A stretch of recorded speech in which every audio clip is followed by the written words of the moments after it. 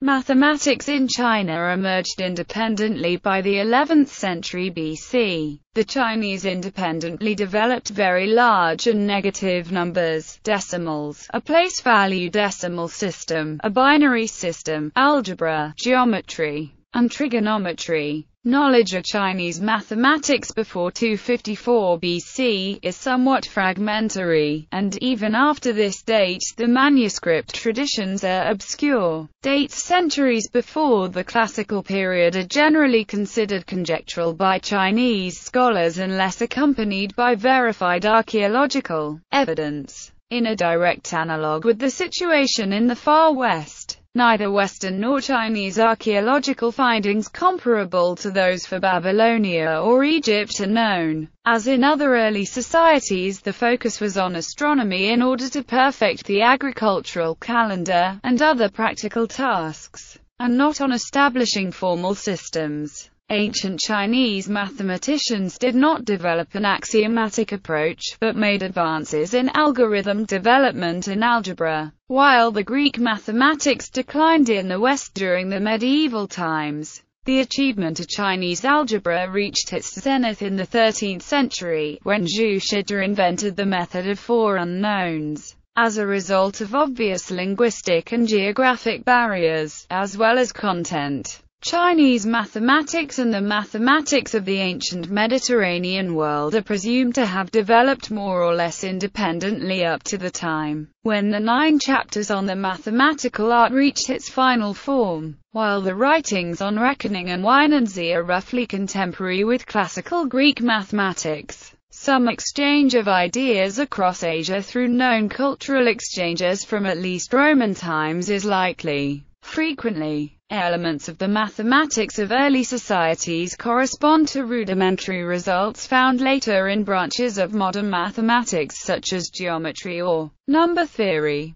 The Pythagorean theorem, for example, has been attested to the time of the Duke of Zhou. Knowledge of Pascal's triangle has also been shown to have existed in China centuries before Pascal, such as by Shen Kuo. Early Chinese mathematics Simple mathematics on oracle bone script date back to the Shang dynasty. One of the oldest surviving mathematical works is the Yi Jing, which greatly influenced written literature during the Zhou dynasty. For mathematics, the book included a sophisticated use of hexagrams. Leibniz pointed out, the I Ching contained elements of binary numbers. Since the Shang period, the Chinese had already fully developed a decimal system. Since early times, Chinese understood basic arithmetic, algebra, equations, and negative numbers with counting rods. Although the Chinese were more focused on arithmetic and advanced algebra for astronomical uses,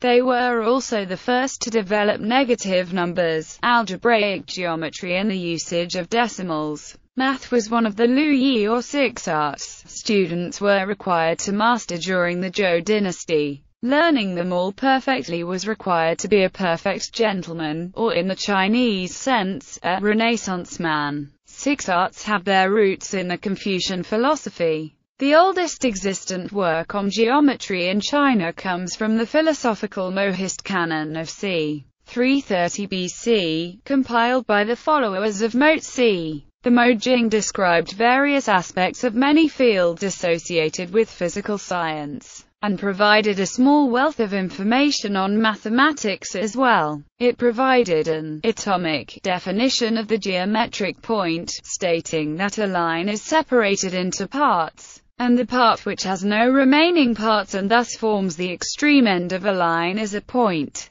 Much like Euclid's first and third definitions and Plato's beginning of a line, the Mojing stated that, a point may stand at the end or at its beginning like a head presentation in childbirth. There is nothing similar to it, similar to the atomists of Democritus. The Mojing stated that a point is the smallest unit, and cannot be cut in half, since nothing cannot be halved. It stated that two lines of equal length will always finish at the same place, while providing definitions for the comparison of lengths and for parallels, along with principles of space and bounded space. It also described the fact that planes without the quality of thickness cannot be piled up since they cannot mutually touch. The book provided word recognition for circumference, diameter, and radius, along with the definition of volume. The history of mathematical development lacks some evidence. There are still debates about certain mathematical classics.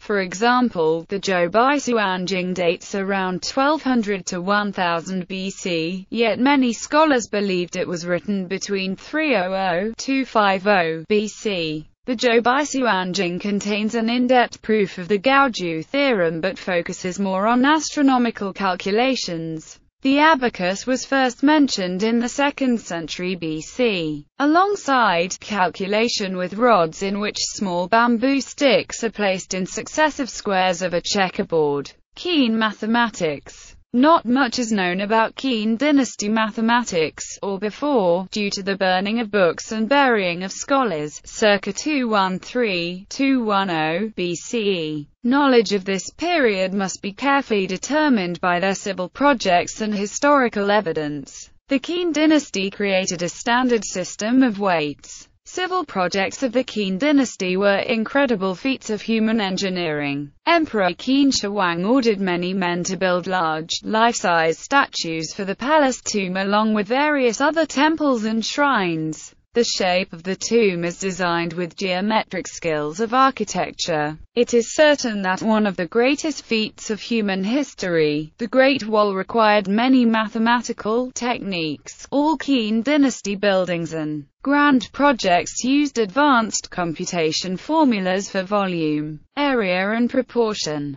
Qin bamboo Cash purchased at the antiquarian market of Hong Kong by the Yuelu Academy, according to the preliminary reports, contains the earliest epigraphic sample of a mathematical treatise, Han Mathematics. In the Han dynasty, numbers were developed into a place-value decimal system and used on a counting board with a set of counting rods called chousuan, consisted of only nine symbols. A blank space on the counting board stood for zero. The mathematicians Liu Xin and Zhang Heng gave more accurate approximations for pi than Chinese of previous centuries had used. Zhang also applied mathematics in his work in astronomy. Hundreds of examples of the practical use of mathematics by Qin and Han administrators have been excavated proving that many of the topics discussed in theoretical treatises were actually in use. Suan Shushu The Suan Shushu is an ancient Chinese text on mathematics approximately 7,000 characters in length, written on 190 bamboo strips. It was discovered together with other writings in 1984 when archaeologists opened a tomb at Zhangjiashan in Hubei province. From documentary evidence this tomb is known to have been closed in 186 BC, early in the Western Han dynasty. While its relationship to the nine chapters is still under discussion by scholars, some of its contents are clearly paralleled there. The text of the Suan Shushu is however much less systematic than the nine chapters, and appears to consist of a number of more or less independent short sections of text drawn from a number of sources. Some linguistic hints point back to the Qin dynasty. In an example of an elementary mathematics in the Suan Shushu, the square root is approximated by using an excess and deficiency method which says to combine the excess and deficiency as the divisor, the deficiency numerator multiplied by the excess denominator and the excess numerator times the deficiency denominator. Combine them as the dividend. The Nine Chapters on the Mathematical Art The Nine Chapters on the Mathematical Art is a Chinese mathematics book its oldest archaeological date being 179 AD, but perhaps as early as 300-200 BC. Although the author are unknown, they made a huge contribution in the Eastern world. The methods were made for everyday life and gradually taught advanced methods. It also contains evidence of the Gaussian elimination and Cramer's rule for system of linear equations. The nine chapters on the mathematical art was one of the most influential of all Chinese mathematical books and it is composed of some 246 problems. Chapter 8 deals with solving determinate and indeterminate simultaneous linear equations using positive and negative numbers, with one problem dealing with solving four equations in five unknowns. Estimates concerning the Tupei Suanqing, generally considered to be the oldest of the mathematical classics, differ by almost a thousand years. A date of about 300 BC would appear reasonable, thus placing it in close competition with another treatise, the Zhujiang Suanshu, composed about 250 BC, that is, shortly before the Han Dynasty. Almost as old as the Tupei, and perhaps the most influential of all Chinese mathematical books, was the Zhujiang Suanshu, or nine chapters on the mathematical art. This book includes 246 problems on surveying, agriculture, partnerships, engineering, taxation, calculation, the solution of equations, and the properties of right triangles. Chapter 8 of the nine chapters is significant for its solution of problems of simultaneous linear equations, using both positive and negative numbers. The earliest known magic squares appeared in China. The Chinese were especially fond of patterns, as a natural outcome of arranging counting rods in rows on counting board to carry out computation. Hence, it is not surprising that the first record of a magic square appeared there. The concern for such patterns led the author of the nine chapters to solve the system of simultaneous linear equations by placing the coefficients and constant terms of the linear equations into a matrix and performing column reducing operations on the matrix to reduce it to a triangular form, represented by the equations 36z equals 99, 5y plus z equals 24, and 3x plus 2y plus z equals 39 from which the values of z, y, and x are successively found with ease. The last problem in the chapter involves four equations in five unknowns, and the topic of indeterminate equations was to remain a favorite among Oriental peoples. Mathematics in the period of disunity. In the 3rd century Liu Hui wrote his commentary on the nine chapters and also wrote Hai Dao Suanjing which dealt with using Pythagorean theorem and triple, quadruple triangulation for surveying. His accomplishment in the mathematical surveying exceeded those accomplished in the West by a millennium. He was the first Chinese mathematician to calculate pi equals 3.1416 with his pi algorithm. He discovered the usage of Cavalieri's principle to find an accurate formula for the volume of a cylinder, and also developed elements of the integral and the differential calculus during the 3rd century CE. In the 4th century, another influential mathematician named Zu Chongzhi introduced the Da-Ming Li. This calendar was specifically calculated to predict many cosmological cycles that will occur in a period of time. Very little is really known about his life. Today, the only sources are found in Book of Sui. We now know that Zu Chongzhi was one of the generations of mathematicians. He used Liu Hui's pi algorithm applied to a 12,288 gon and obtained a value of pi to 7 accurate decimal places which would remain the most accurate approximation of pi available for the next 900 years. He also used He Chengtian's interpolation method for approximating a rational number with fraction in his astronomy and mathematical works. He obtained as a good fraction approximate for pi. Yoshio Mikami commented that neither the Greeks, nor the Hindus nor Arabs knew about this fraction approximation to pi, not until the Dutch mathematician Adrian Antonis Zoom rediscovered it in 1585. The Chinese had therefore been possessed of this the most extraordinary of all fractional values over a whole millennium earlier than Europe, along with his son. Zu Geng, Zu Chongzhi used the Cavalieri method to find an accurate solution for calculating the volume of the sphere. His work, Zhui Shu was discarded out of the syllabus of mathematics during the Song dynasty and lost. Many believe that Zhui Shu contains the formulas and methods for linear, matrix algebra, algorithm for calculating the value of pi, formula for the volume of the sphere. The text should also associate with his astronomical methods of interpolation, which would contain knowledge similar to our modern mathematics. A mathematical manual called Sunzi Mathematical Classic, dated around 400 CE contained the most detailed step-by-step -step description of multiplication and division algorithm with counting rods.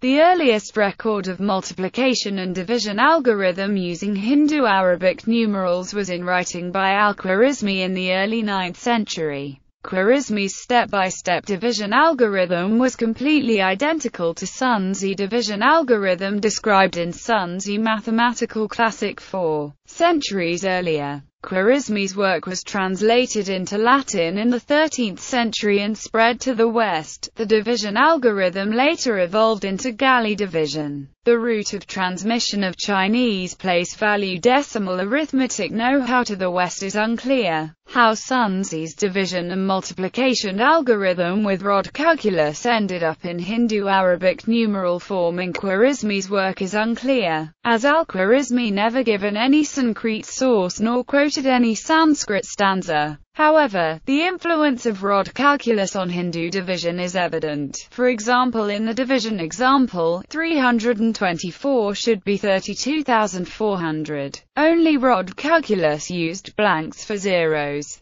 In the 5th century the manual called Zhang Qiujian Suanjing discussed linear and quadratic equations. By this point the Chinese had the concept of negative numbers. Tang mathematics the Sui dynasty and Tang dynasty ran the school of computations. By the Tang dynasty study of mathematics was fairly standard in the great schools. The Ten Computational Canons was a collection of ten Chinese mathematical works, compiled by early Tang dynasty mathematician Li Chunfeng, in which cubic equations appear for the first time. The Tibetans obtained their first knowledge of mathematics from China during the reign of Namri, Strong Btsan, who died in 630 the Table of sines by the Indian mathematician Aryabhata, were translated into the Chinese mathematical book of the Kai Kaiyuan Zhanjing, compiled in 718 AD during the Tang dynasty. Although the Chinese excelled in other fields of mathematics such as solid geometry, binomial theorem, and complex algebraic formulas, early forms of trigonometry were not as widely appreciated as in the contemporary Indian and Islamic mathematics. Yi Xing, the mathematician and Buddhist monk was credited for calculating the tangent table. Instead, the early Chinese used an empirical substitute known as chong cha, while practical use of plane trigonometry and using the sine, the tangent,